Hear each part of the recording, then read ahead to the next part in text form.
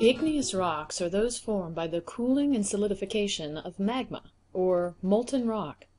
As the melted rock cools, new minerals and textures will form based on things like the original magma composition, the addition of any new chemical components from the surrounding rocks, the time it takes to cool, and the temperature and pressure at which it cools. Because there is so much variation in this process, there is a wide variation of igneous rock textures and compositions. When we identify and classify igneous rocks, we are looking for textural and compositional clues in the rock that tell us the story of the original magma formation and its cooling process. By the end of this learning module you should be able to list the most common igneous rocks recognize their textures and compositions, and link them to their formation environment and history. This pile of igneous rocks contains a wide range of igneous rock compositions and textures, and represents a dozen different rock names and histories. This table shows how we classify and distinguish among the variety of igneous rock types, by texture and composition. The five columns represent the five basic textures the four rows the four basic compositions. As long as you can correctly describe the texture and composition of an igneous rock, you can determine the rock's name, and understand something about its formation history. Magmas that solidify and cool do so either slowly underground, often taking hundreds to thousands of years, or quickly above ground following an eruption. In the first case, slow underground cooling, there is no eruption. The magmas never reach the surface. Instead, they reach an underground magma chamber, or insert themselves into cracks or between layers in the rock. Over a long period of time they cool, and the atoms in the melt bond with each other to form minerals that are most stable based on the existing temperature, pressure, and chemistry. The slow cooling allows for large crystals to form. The texture of these rocks is typically described as phaneritic and the crystals are all intergrown and large enough to see with the naked eye. A subcategory of phaneritic rock are rocks with unusually large crystals. This texture is called pegmatitic, and rocks displaying this texture are called pegmatites. Unusually large crystals form when the magma cools slowly and the magma viscosity is very low, usually through the addition of large amounts of water. This low viscosity, or low resistance to flow, means that atoms can migrate quickly and easily to nucleation sites far away, so single crystals can get to be many inches to sometimes feet long. In contrast, when a magma erupts as a lava flow, it cools quickly. Atoms don't have time to form large crystals, so the same basic minerals will form, but the crystals will be smaller, too small to see without a microscope. Rocks with a texture of crystals too small to see are called aphanitic. A few other textures can result when rocks erupt. Sometimes lava flows cool so quickly, especially their outer edges, that they form no crystals, which we call glass. For a lava flow to form 100 per cent. glass, it must do more than just cool quickly, it must also have a very high viscosity, or resistance to flow. A very high silica content can cause high viscosity, and that can lead to a texture called glassy, where 100 per cent. of the rock is made of glass. When magmas erupt explosively with lots of gas, lava is thrown through the air, adhering to the gas bubbles. It cools instantly, forming tiny grains of glass, called ash.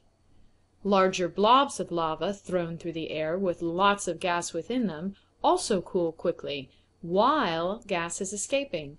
They form a texture known as frothy, a combination of solid glass riddled with 50 per cent or more vesicles, holes left by escaping gas. Note: Often lava flows will also cool around escaping gas. Vesicles will also exist in these aphanitic textures. Only when the amount of vesicles is equal to or larger than the amount of rock do we call the texture frothy. If a lot of ash is produced in an explosive eruption, it will settle out of the air and accumulate in piles on the ground.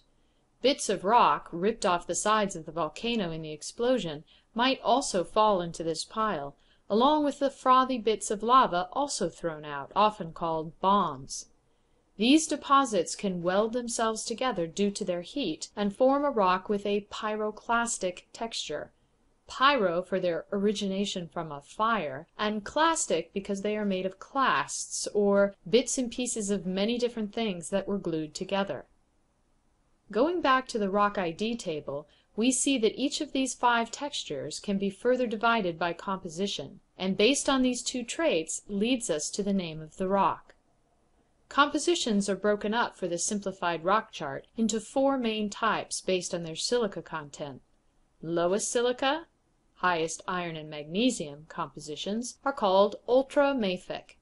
As silica content increases and iron and magnesium decreases, we move from ultramafic to mafic to intermediate to the highest silica content in felsic rocks. Note, mafic gets its name from its high magnesium and iron ferric content. Felsic gets its name from its high silica and feldspar content. How can we identify the composition of an igneous rock? If we can see minerals, then we can use those to tell us the composition. The simplest way to use minerals to characterize the composition of a rock is through Bowen's reaction series, which does a good job of indicating the minerals one would expect to form from magmas of varying composition. Let's review it briefly. Magmas that form from melting the mantle will be the most primitive and have the lowest silica content and the highest iron and magnesium content. As they start to cool, the first mineral to precipitate, the one that's first stable as a solid at the highest temperature, is olivine. As the magma continues to cool, calcium-rich plagioclase feldspar becomes stable and starts to precipitate alongside olivine. If the magma cooled completely at this point, with no more changes, or if it erupted, then you'd have a rock made of olivine and plagioclase, and it would be ultramafic in composition. If, however, we let the magma evolve, if we remove the olivines by having them sink to the bottom of the magma chamber, and the plagioclase feldspars by having them float to the top or edges of the magma chamber, the composition of the magma would start to change. It would become more silica rich, more water rich, and have less magnesium and iron. Now it would continue to cool until pyroxene began precipitating. Plagioclase feldspar would continue to precipitate as well, and perhaps a little more olivine. But basically olivine is on the way out, and pyroxene starts to dominate.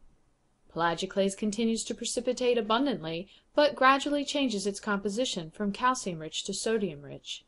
If a magma of this composition erupted at this point, its composition would be mafic.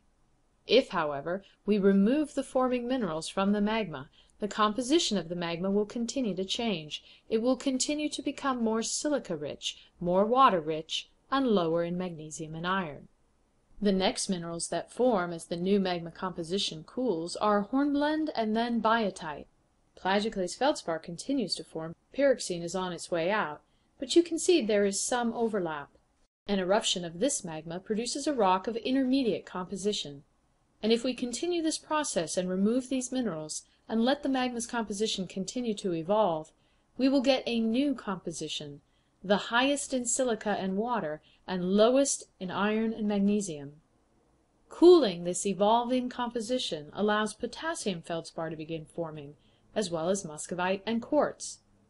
Hornblende, biotite, and plagioclase feldspar can also continue forming. An eruption of this magma produces a rock of felsic composition. And now you see how identifying the minerals in an igneous rock can help us determine its composition. What do we do if we can't see any minerals in a rock?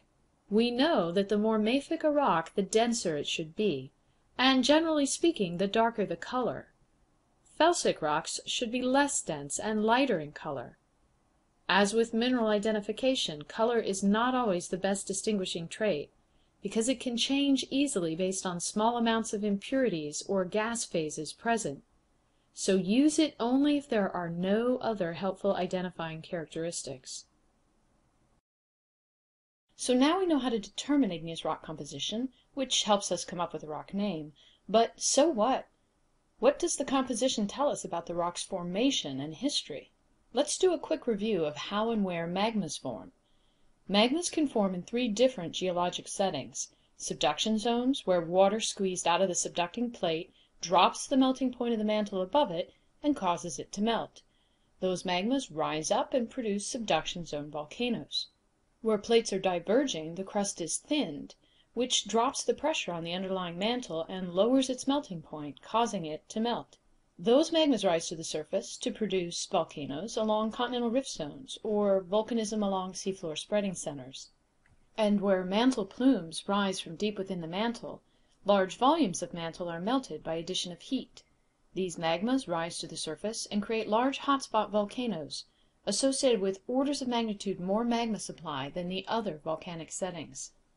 All of these original melts of mantle material would be ultramafic in composition, with the same basic major element composition, but variations in minor elements depending upon what part of the mantle was melted to produce the magma. As these magmas rise to the surface they undergo compositional change or evolution due to two major processes. They can either melt the crust and or undergo crystal fractionation, which we described earlier with Bowen's reaction series. For crystal fractionation to happen, the magmas have to have time and opportunity for slow cooling en route to the surface, and removal of crystals as they form.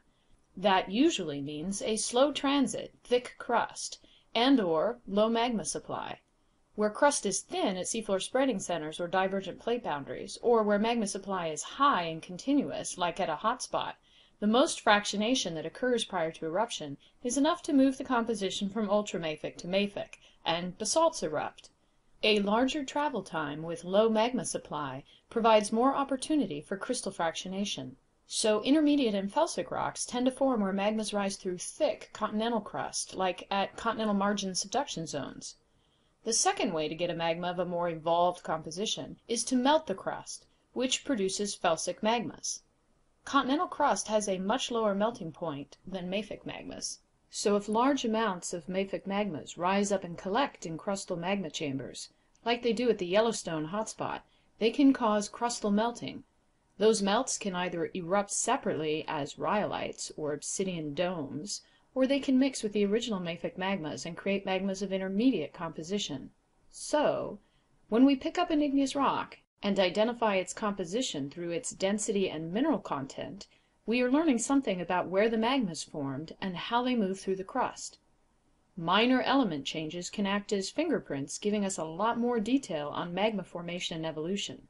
Take a class in igneous petrology to learn more. For purposes of this introductory class we are simplifying this discussion. When I identify a rock as mafic, I can provide a handful of possible formation scenarios for it and eliminate a few other. It might have been formed as part of a mantle plume or hot spot, or it might have been formed at seafloor spreading centers. If I identify a rock as felsic, it might have formed at a continental subduction zone or at a hot spot region where crustal melting happened. Just like with Bowen's reaction series, these models are guides to help us distinguish between various formation settings and compositions. They work most of the time, but they fail to explain everything. For the times when the real world fails to follow our simplified model, we must investigate further to identify and name an igneous rock all we need is to correctly characterize its texture and its composition. Let's get started by separating all these rocks into five piles related to our five textures.